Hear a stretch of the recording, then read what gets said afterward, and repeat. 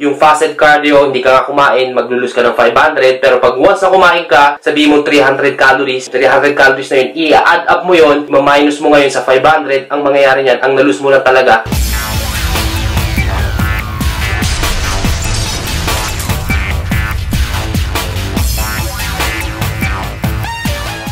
Hi guys, Arjo Bautista po to and welcome to Pinoy Fitness TV. Ngayon po sa video to, i-explain ko sa inyo kung ano ba yung ibig sabihin ng fasted cardio at saka kung ano ba yung epekto nito sa katawan natin.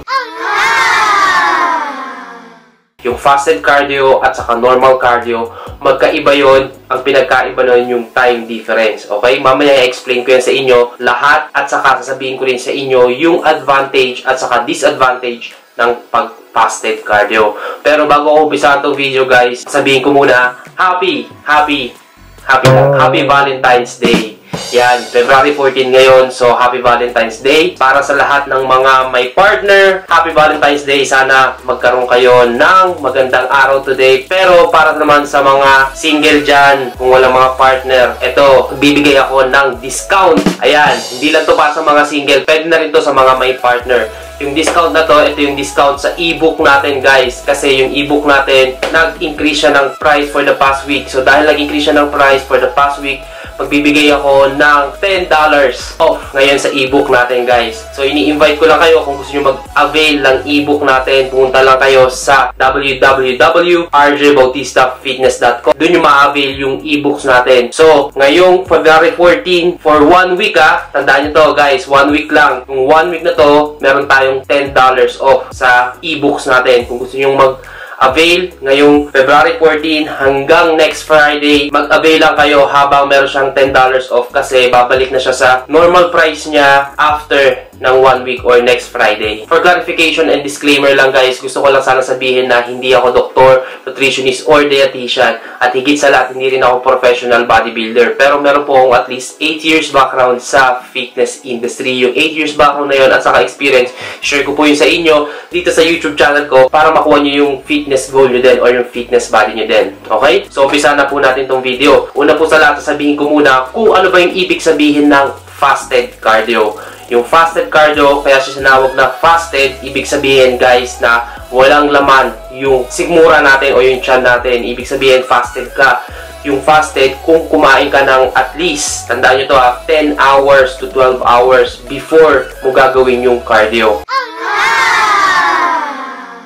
Kaya siya tinawag na fasted cardio kasi walang laman yung chan natin, yung stomach natin at least for 12 hours, okay? Empty siya. So, yun ibig sabihin ng fasted cardio. Ito naman, isang tanong. Ano ba yung epekto kung gagawin natin yung fasted cardio? Ayan guys, sasagutin ko rin yan. May mga, nare-receive kasi ako ng mga iba't ibang mga question about sa fasted cardio. Kung isa ka dito, yan, mag-focus ka dito ha, explain ko sa inyo yung epekto ng fasted cardio at saka normal cardio, okay? So, yung fasted cardio, ibig sabihin nun, walang laman yung tiyan natin. So, kung magka-cardio tayo nang walang laman yung tiyan natin, ibig sabihin, mas madali tayong manghihina. Kasi fasted yung katawan natin, walang laman yung stomach natin. Kung walang laman yung stomach natin o yung sikmura natin, ano bang mangyayari? Di ba? Manghihina tayo kasi wala pa tayong kinain nun. Pero may sinasabi yung ibang studies na kapag ginawa mo daw yung fasted cardio, eh maglulus ka ng body weight ng mas mabilis. Para sa akin guys ha, nagawa ko na yung fasted cardio at saka yung normal cardio.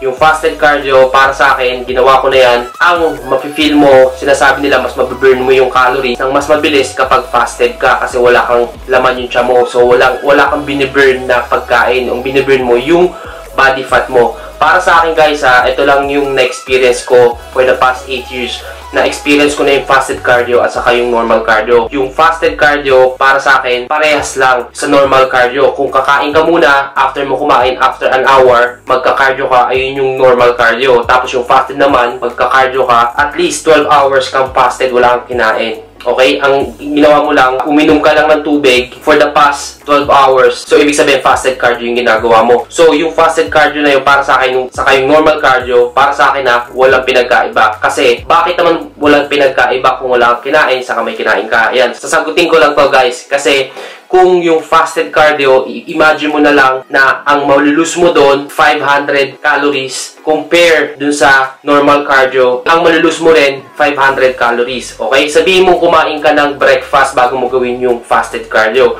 Yung kinain mong breakfast, sabihin na natin 300 calories. Okay? Yung 300 calories, ang gagawin mo, magka-cardio ka after an hour or at least 2 hours after mo kumain, ang mangyayari niyan, ang malulus mo lang 200 calories. Kasi, di ba, 300 minus 500, so equals to 200. So, yung 200 calories na yun, ayun lang, ayun lang yung, ayun lang yung malulus mo. Excuse me. Excuse me. So, yung 200 calories, ayun lang yung malulus mo sa normal cardio. Pag fasted cardio ka naman, imagine mo na wala kang kinain, di ba?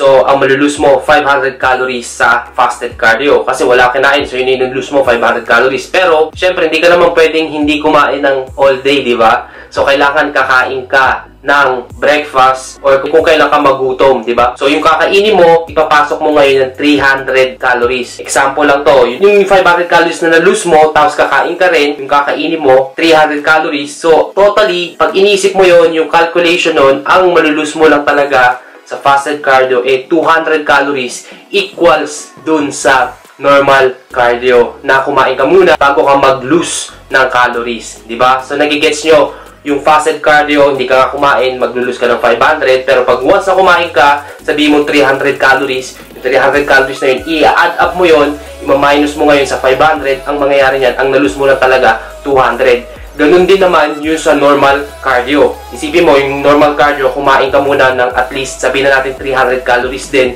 Yung kinain mo, tapos hintay mo muna siyang ma-digest bago mo gawin yung normal cardio. Sabihin mo, na-digest na siya after an hour or 2 hours, and then magka-cardio ka, ang nalus mo naman sa cardio mo eh 500 calories. Yung 500 calories, i-minus mo doon sa kinain mo, 300. So, 200 calories lang din yung nalus mo. So, ayun yung pinagkaiba ng fasted cardio at saka normal cardio. Ngayon naman, para sa akin, magbibigay ako sa inyo ng tip kung ano bang mas magandang gawin. Kung yung fasted cardio o yung normal cardio. Okay, ngayon, sasagutin ko ngayon yan. So, depende yan sa schedule natin or depende yan sa schedule mo.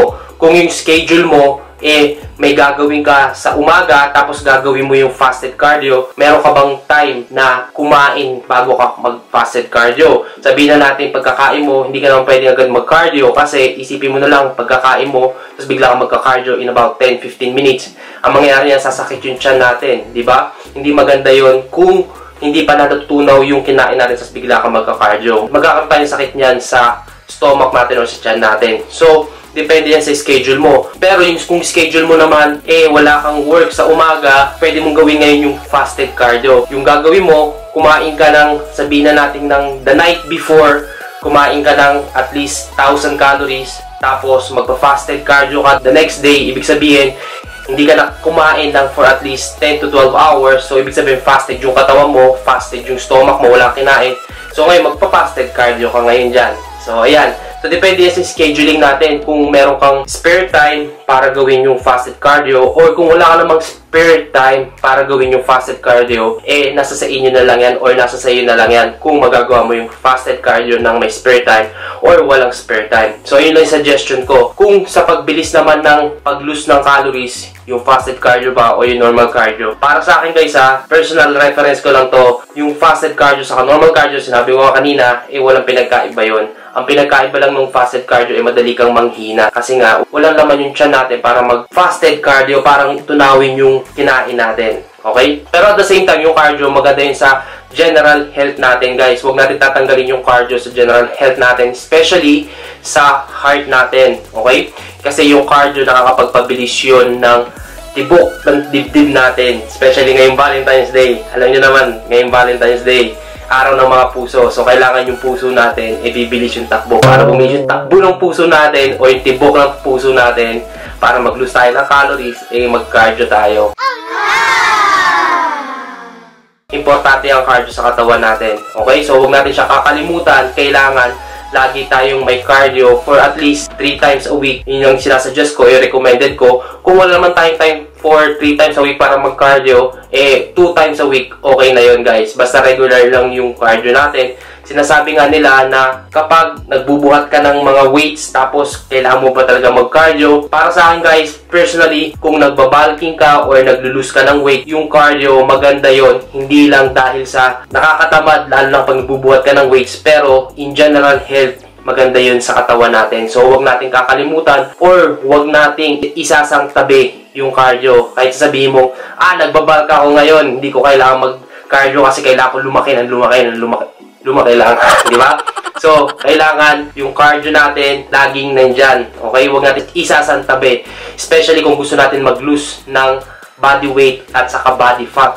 Yung cardio, isa yon sa importanteng gawin para makapag-lose tayo ng weight ng mas mabilis compare sa walang ginagawang cardio. Okay? Yan guys, ngayon, next time naman magbibigay ako ng mga exercise dito sa video to ng mga iba't ibang klase ng mga cardio. So, stay tuned kayo dito sa YouTube channel natin para sa mga exercise na sasabihin ko dito next time kung ano ba yung mga magandang exercise para sa cardio. Okay? So guys, ito muna yung video natin ngayon. Sana po itong video katulong po sa inyo. Kung nakatulong po itong video ko sa inyo, sana po na i-like nyo tong video para tumaas din yung likes natin. At saka kung may nakalimutan man akong i-add about dito sa fasted cardio or sa pag-cardio, i-comment nyo lang doon sa baba kung meron pa kayong gustong i-add na information para sa fasted cardio or sa normal ng pag-cardio lang. Para sa lahat ng mga viewers natin, eh makita yung comment nyo, eh makatulong din tayo sa isa't isa. Saka guys, huwag nyo kalimutan, sharing is caring. So, share natin itong video ko para din po sa lahat. Hindi lang po para sa inyo. So guys, bago ko tapos itong video, kung bago kayo sa YouTube, YouTube channel ko, ini-invite ko lang kayong mag-subscribe. Nagbibigay po ako ng free tips, free information at saka free advice about sa fitness, nutrition, or sa diet at saka sa healthy lifestyle.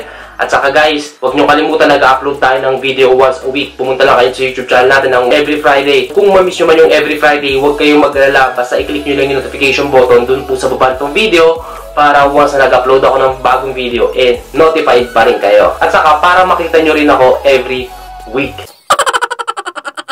Diba? So, I'm out for today. Thank you for watching, guys. Kita-kits ulit tayo next week para sa bago nating video. Peace!